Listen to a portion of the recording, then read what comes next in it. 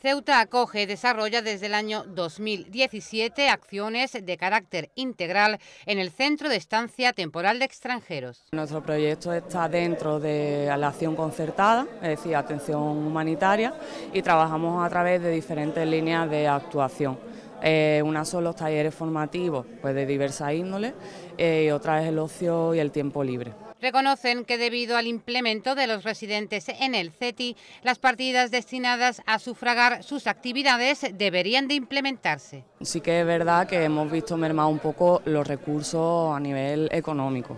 Eh, nosotros siempre trabajamos con un volumen de, personas bastante alto y mm, es verdad que que si tuviéramos más recursos a nivel económico se podrían hacer muchas más cosas. Este jueves mantendrán un encuentro con representantes del Ministerio de Inclusión, Seguridad Social y Migraciones que aprovecharán para poner en relieve su trabajo y necesidades. A nivel de gobierno central, pues debería de dotar de los suficientes recursos para tener una acogida, eh, digamos, integral e interdisciplinar y eh, bueno, también aprovechar para eh, recalcar que Ceuta es un territorio muy peculiar, dada la situación geográfica en la que nos encontramos, pues que no, se, que no se sigan vulnerando los derechos humanos en frontera